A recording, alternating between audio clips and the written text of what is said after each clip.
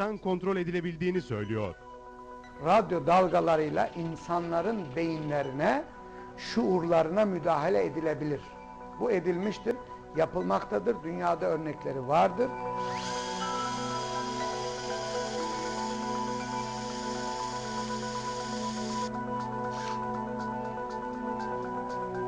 Aselsan'daki hadisede de burada uygulanan EEG sistemleri insanların biliyorsunuz beyin haritası çıkarılmıştır beydeki, beyindeki görme, algılama, işitme, hissetme, acı, sevgi vesaire binin üzerindeki bilinen bin bir esma denir ilahi inanç yapısında ve bu noktalar belirlenmiştir bugün. Ön lob, arka lob, sağ lob, sol loblarda bunlar bilimsel olarak yerleri milimetrik olarak belirlenmiştir. Şimdi siz bir sevgi kodunuzu bugün EEG ile tespit etmek mümkündür. İntikam kodunuzu te temin edebilirsiniz tayin edebilirsiniz. Nasıl?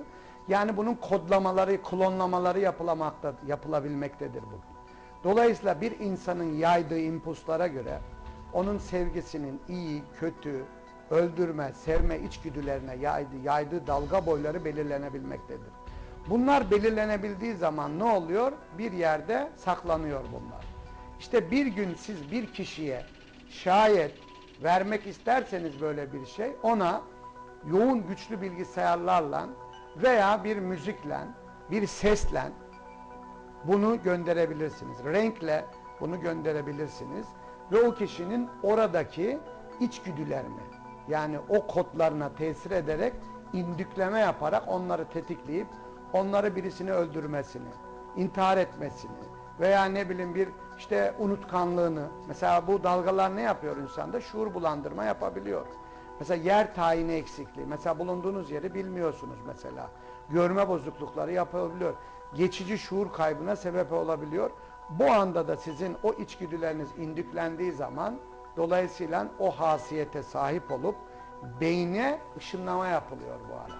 Bu ışınlamalar desibelleri ve boyları farklı boyutta olduğu zaman yüksek seviyeye geldiğinde siz o tepkiyi göstererek işte saldırgan olabiliyorsunuz, ezik olabiliyorsunuz, içine kapanık olabiliyorsunuz, acı duyabiliyorsunuz veya işte bir intihar eşiğine gelip nedir benim bu halim deyip bir intihar noktasına gelmeniz mümkün olmuştur. Bununla ilgili çok ciddi uluslararası çalışmalar vardır.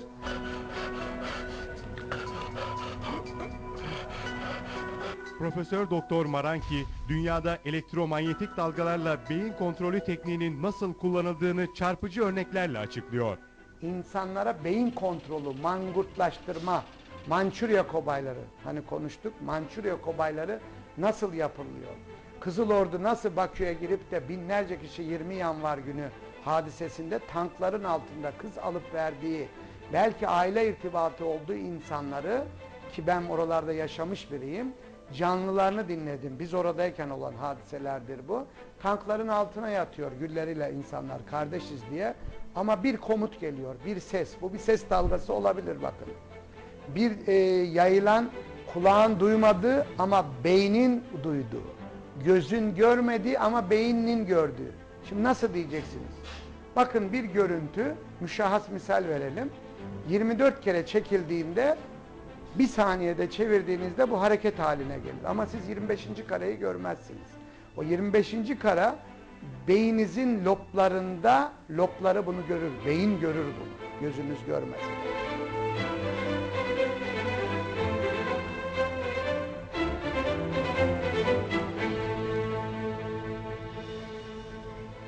O görüntü, işte diyoruz ya acı, intikam, sevgi, muhabbet, uhuvvet, letafet, kin, nefret, öldürme.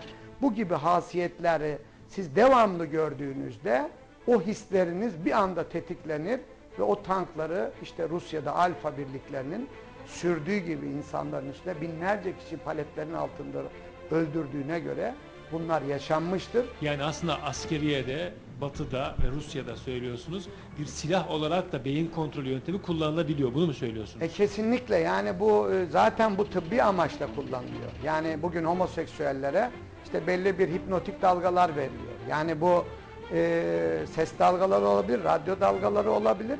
Bunlar verilebiliyor ve bununla da mesela eşcinsellerin bir takım işte metafizik durumlarını, aktif noktaları pasifleştirmek isteniliyor. Bununla ilgili mesela Fransa'da kanuni düzenlemeler vardır. İşte bir takım hastalara bunlar uygulanabilir. Amerika'da vardır, İngiltere'de vardır bunlar. Resmi kanunlarla belirlenmiştir ama tıbbi maksatlı diye müsaade alınır. Ama siz bunu her insanımızın düzgün kullanacağına kanaatiniz olabilir mi? Dünyamızın bugünkü durumunda. Bunun sınırları tabi belli değildir. Captain Marco! İnsanlar demin buyurduğunuz gibi enerji yayıyorlar yani. Şimdi bedenimizdeki hücreler çalıştıkça bizim bir enerji alanımız var etrafımızda.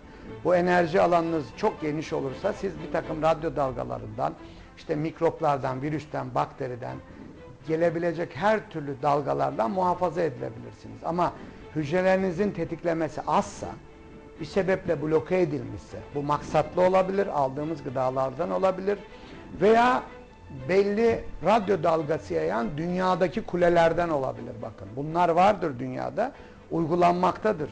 E, mesela e, belli antenlerden dünyaya dalgalar yönlendirilmektedir mesela. Mesela Pentagon'un açıklamasını bilirsiniz. İşte Rita, Margarita, Katarina kasırgaları Amerika'yı vurdu. Hepsine Rus ismi verildi. Neden? Pentagon açıklama yazdı. Ruslar dedi radyo dalgalarıyla ülkemizde kasırga yaratıyorlar.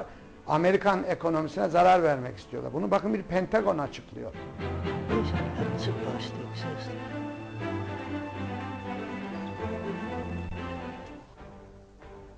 Profesör Doktor Maranki, Amerika Birleşik Devletleri'nin Saddam'ın 400 bin kişilik devrim muhafızları ordusunu da radyo dalgalarını kullanarak etkisiz hale getirdiğini ileri sürüyor. E yine Irak'taki bir hadisede açıklanmıştır biliyorsunuz. Hani nerede bu Saddam'ın 400 bin askeri? Misal diyorsunuz da var mı örnekleri? Biliyorsunuz bize pompalanan bir şey vardı. Saddam'ın 1.90 boyunda 400 bin diyordu devrim muhafızı var. Halbuki Bağdat'a Apache helikopterleri geldi sessiz 60 metreden uçtular. Hiç kimse karşılık vermedi. Bunu yaşadık değil mi? Ne oldu bunlara? Şöyle düşünebilir miyiz? Acaba bu teknoloji harikası olan Apache helikopterleri 60-80 metreye indiğinde yaydığı ses veya radyo dalgalarıyla o inlerinde olan o şahıslara, askerlerin beyinlerinde bir şuur bulandırma, zaman mefhumlarını yok ederek ya benim bu saatte ne işim var acaba burada? Benim kahve içme zamanım deyip acaba evlerine mi gönderildi, girildi? Bunlar vardıysa niye çıkmadılar? Yoktuysa ne oldu bunlara? Acaba bu da bir e, gri istihbarat mı? Bu istihbaratın çeşitleri vardır askeri istihbaratta. Captain Marco! Sir, Şimdi bunlar çok önemlidir ama biz inanıyoruz ki bunlar yapılmıştır. Zaten doğrulamaya gerek yok. Pentagon'a sorulmuştur. Efendim Irak'ta radyo dalgalarıyla şuur bulandırma gibi hadiselerde bulunuldu mu? Evet, biz Bosna'da ve e, Irak'ta insanlığın selameti ve barış getirmek için insanlar ölmesin diye bazı teknik gelişmeleri, yüksek elektronik gelişmeleri uyguladık denmiştir. Yani bunu aramaya lüzum yok. Zaten işin sahibi, mülkün sahibi bunu söylüyor.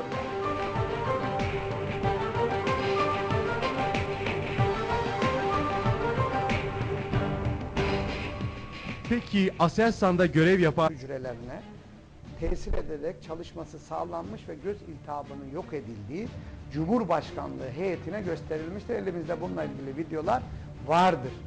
Ve bu teknoloji birilerine verilmek üzere de denilmiştir ki bakın bizde böyle bir teknoloji var. Radyo dalgalarıyla hücrelere müdahale edilebiliyor. Bu canlı olan herkese, bitki hücrelerine, hayvan hücrelerine müdahale edilebilir. Ama maksat ne? Tıbbi güzellikler. Yani bloke edilmiş hücrelerin açılması. Ama siz bir de bunu tersinden düşünün. Radyo dalgalarıyla insanların beyinlerine, şuurlarına müdahale edilebilir. Bu edilmiştir, yapılmaktadır. Dünyada örnekleri vardır. Profesör Maranki, sivrisinek kovmak için bile uygun frekanstaki radyo dalgaların kullanıldığını hatırlatıyor. Ve insan beynini etkilemek için bu gizli araştırmaların nasıl yönlendirildiğini yine örnekleriyle açıklıyor. Efendim bak sinek kovarlar var biliyorsunuz. Nasıl kovar bu bunu? Yani 150 e, 15 milyona bunu alırsınız. Minimize dalga yayar bunlar. Yani çok desibeli çok düşük. sineğin algılayabileceği veya bir parazitin, böceğin, tahta kurusunun bunu o bir ses yer içeride. Yani dalga boyu diyorum ben buna. O dalga boyu şey için bir delirtme organıdır. Sinek için. Bizi etkilemez ama bu bedene göre sineğe, fareye tesirlidir. İşte diyorsunuz ya Aselsan'da ne oldu? Yani hangi Yani dalga sineğe, boyu? fareye tesir eden dalga boyu insana niçin tesir etmesin diyorsunuz? et belli boylara çıkartıldığında insana da tesir edebileceğini sinekler bize gösteriyor işte yani. Onlar Anadolu'nun bağrından çıkmış, ülkesi ve milleti için çalışan üç başarılı mühendisti. Türk savunma sanayini dışa bağımlılıktan kurtaracak çok sayıda başarılı projede onların imzası vardı. Ölümlerinin ardından sırları da beraberinde götürdüler. Ve onlara ihtiyaç duyduğumuz bu günlerde üç mühendisin sır ölümü daha çok tartışılacağı benziyor. Deşifre genç mühendislerin sır ölümleriyle ilgili gelişmelerin yakından takipçisi olacak. Beyin kontrolü yöntemiyle bir insan intihar etmeye yönlendirilebilir mi? Anlaşılan bu